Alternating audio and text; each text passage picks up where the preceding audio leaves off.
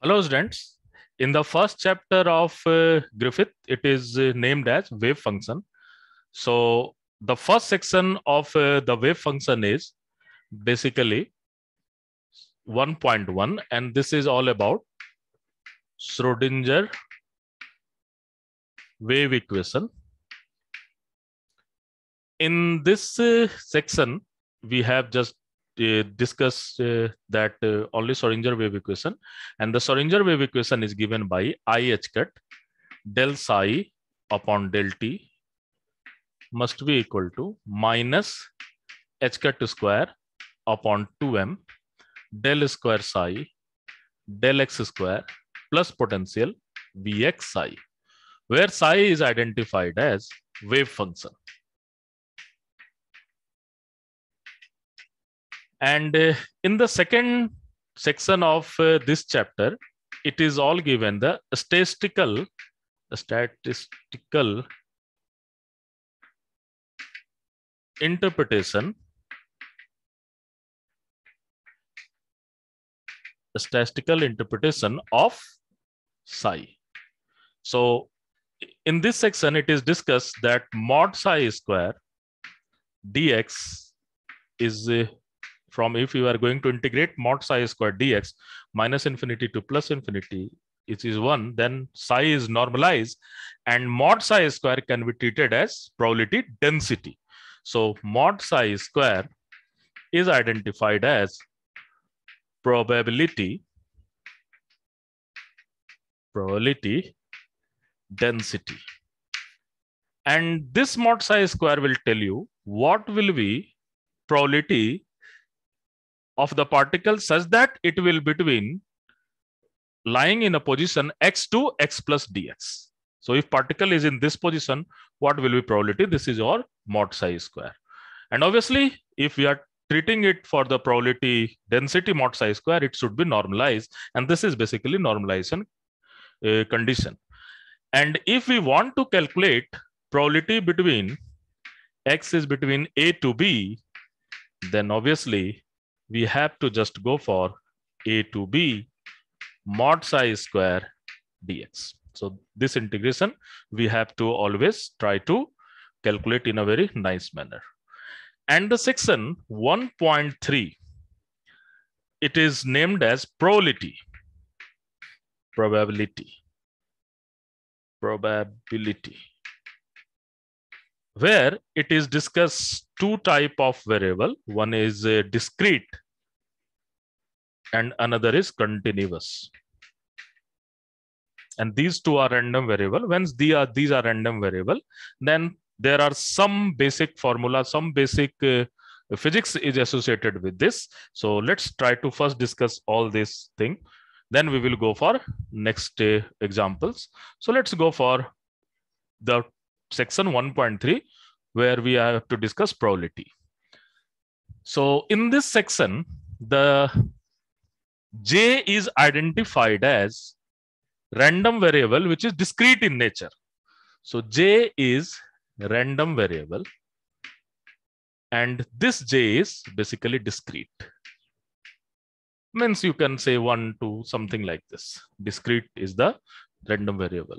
And if j is random variable, the associate count with j is basically nj. And if we are going to summation over nj over j, that value will be give you total number of count. So if we want to calculate probability of getting j is nothing but nj by n. And from here, we can calculate the mean value and or the average value.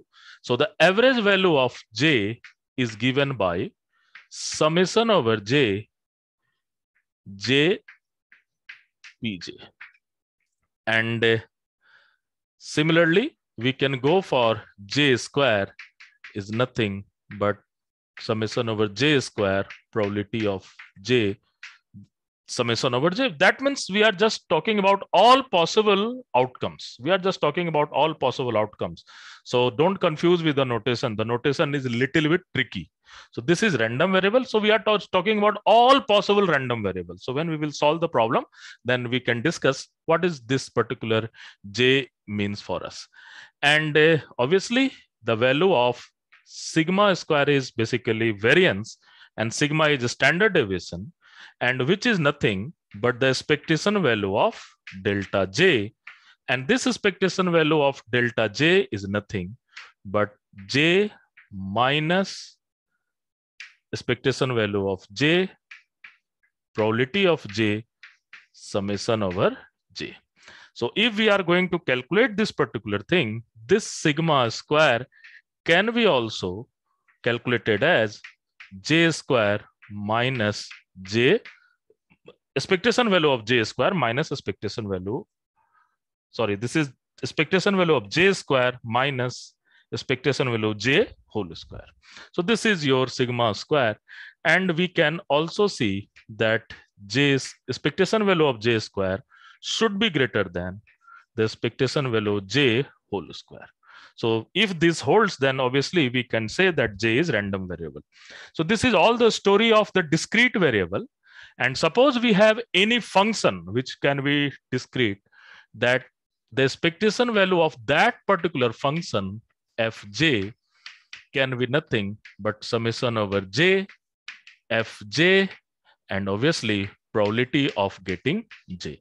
So this is all about discrete thing. Similarly, we have also continuous thing. So when we are talking about continuous thing, then we have probability density. And this probability density can be written as probability per unit length. This is all about probability density for the one dimension. So if we want to calculate probability between x between a to b, then obviously we have rho x dx a to b. If rho x is probability density, then obviously it will hold that rho x dx summation over all possible x must be equal to 1. Then only we can treat any function as probability density. This is just a mathematical test whether this function can be treated as a probability density or not. And this is probability such that x is between a to b. And similarly, we can have expectation value of x where x is actually random variable and that random variable is continuous in nature. So this expectation value of x can be given as x rho x dx. Obviously, we have to go for all value of x. Similarly, expectation value of x square will we go for minus infinity to infinity x square rho x dx. And the sigma square can be again given as expectation value of x square minus expectation of x square. So this is all about sigma square. And again, we can have x square must be greater than x. And yes, if we want to calculate the expectation value of any function fx, and that f is the function of random variable, then obviously this value is fx dx, sorry, fx rho x dx. And that value is from minus infinity to plus infinity. So these formulas are discussed in a very well manner into section 1.3 of the Griffith second edition. And after then, there was there is one example and three unsolved problem. So we will solve that example into next video. Thank you.